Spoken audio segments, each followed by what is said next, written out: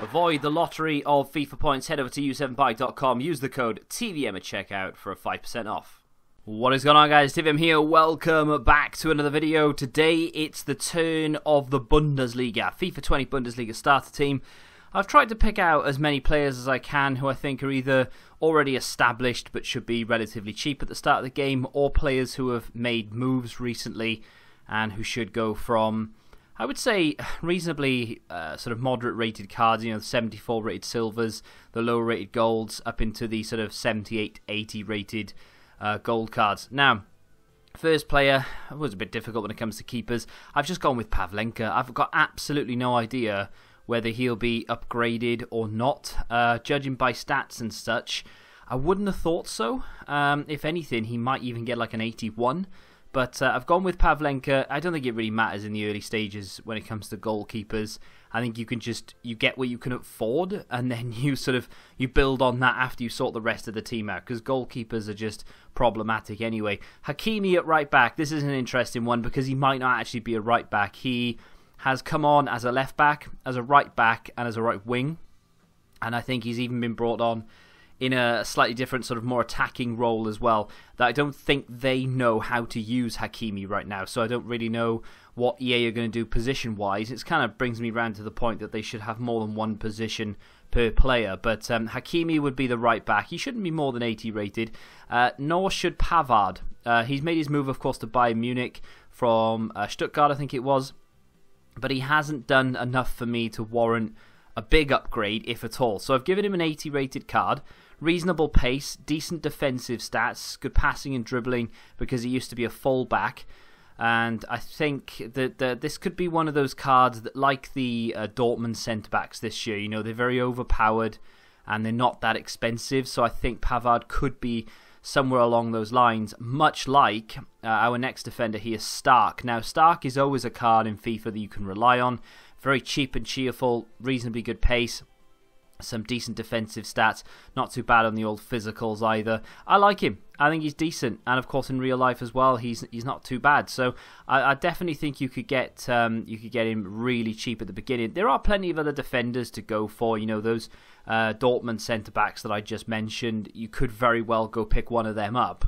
But um, I think the popularity of those will probably rise the price, raise the price rather this year. Uh, speaking of raising the price, Schulz is the highest rated card in this team, and he could very well be too expensive to pick up. I really don't know how much an 82 Dortmund Schulz would cost.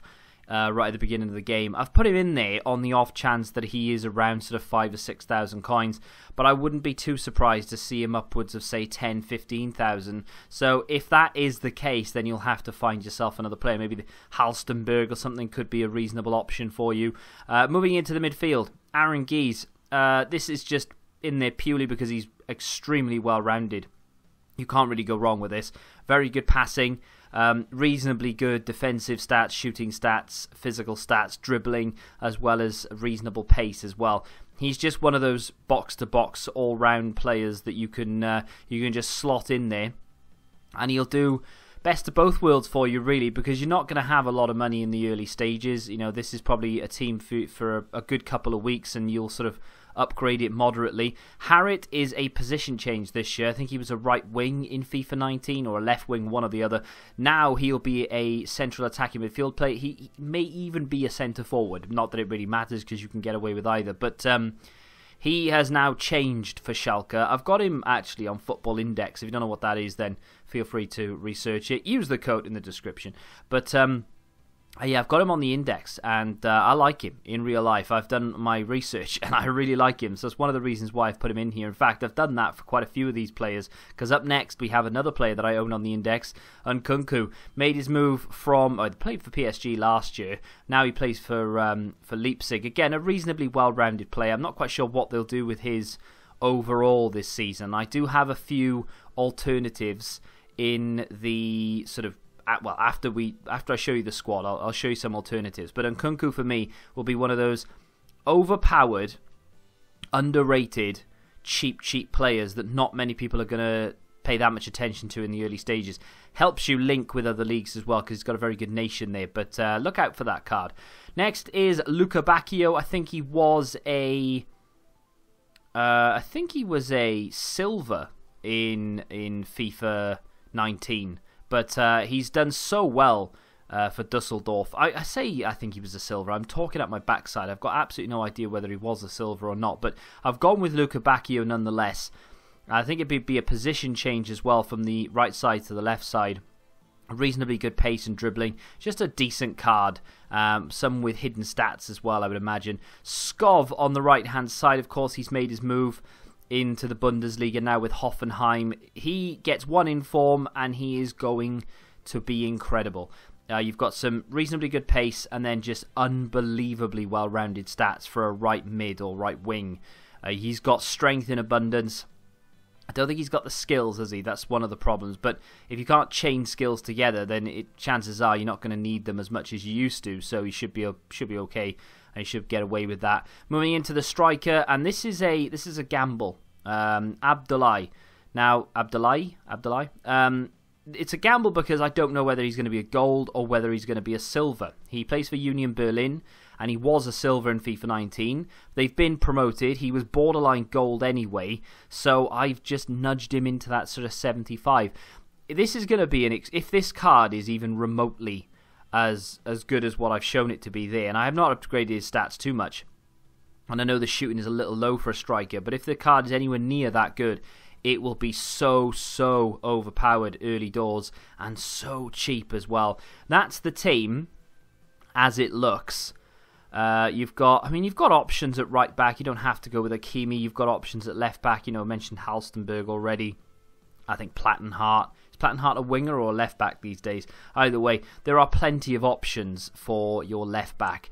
Centre back wise, those two should be relatively cheap, and the stats are pretty much about where they where I would expect them to be.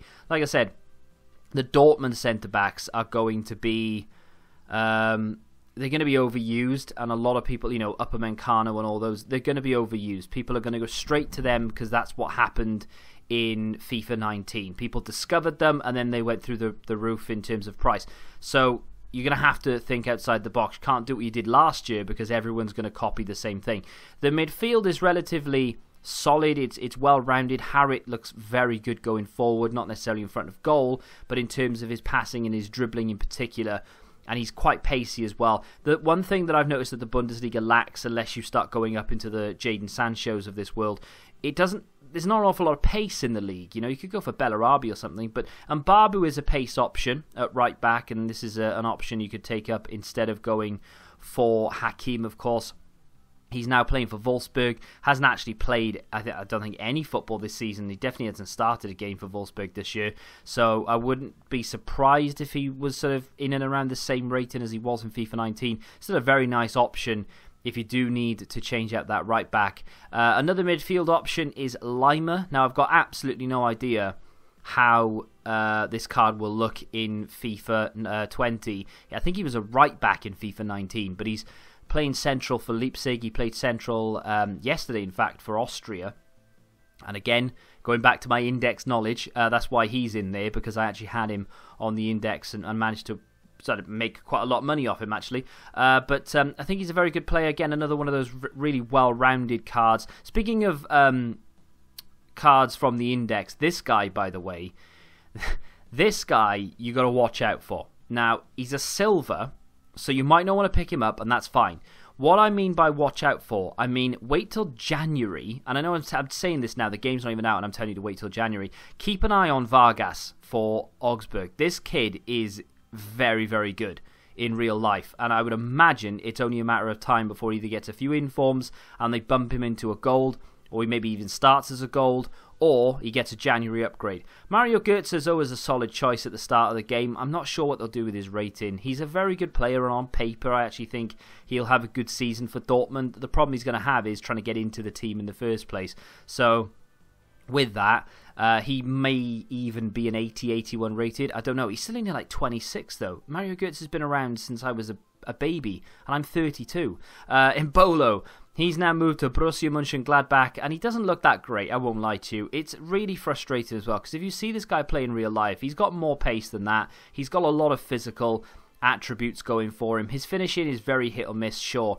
But I just feel like if I was in charge of making this card from scratch, the the dribbling, the shooting, the passing, fine, I'd all keep it the same. But his pace, you know, maybe 82, 83, and his physical would be 85. Because he is a very. He's, he's built, you know, he's a very strong built character. Um, that's going to do it for today's video, though. That is the FIFA 20 Bundesliga starter team yeah, there are a few players in there that may be a little bit above the, I would say, starter team grade, and there are a few other players in there that are definitely curveballs. But that's what I like to do. I'm trying to implement real world knowledge into what cards may actually be good at the start of the game, and, and what cards that you aren't thinking of right now because you don't know they exist, like the Vargas or the Laimer and things like that. But um, hopefully, you guys have enjoyed. If you have done, hit the like button, subscribe to the channel if you're new, and until the next time, goodbye. Football Index. The game changed. Download the app now.